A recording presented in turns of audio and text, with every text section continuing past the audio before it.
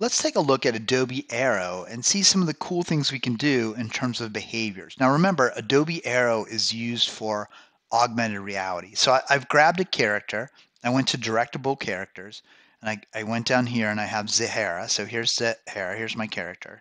And I can click on this little dot here and move her all around that I want to. If I just wanted to move on one um, axes, I can just go ahead and do this and the blue, and I can even do green if I wanted to lift her up, but I don't want to. I want to put her down here. I don't want to put her below. I want to put her right on top. So we can go there and I can click here to make sure that she's right aligned. And now I want her, when I tap on her, to wave. So I'm going to go down to the little running icon and click on that. And here she is. And if I click on trigger, I'm going to uh, tap so when I tap on her, it's going to wave. So I, I, click on tap, and then I, I can click on what action I want to have happen. So I'm going to click on action, and I have all kinds of actions. I can play animations. I can do all kinds of things. I can aim. I can show.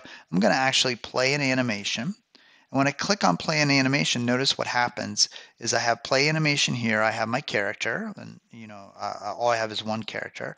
And then I have a bunch of animation clips. So I'm going to click on wave.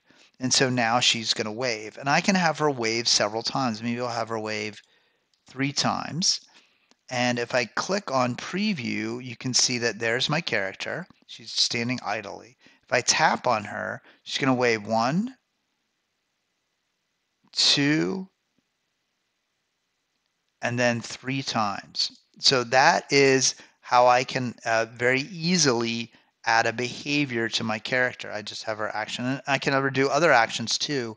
So I can play another animation if I'd like to. And after she waves, maybe I could have her point in a certain direction.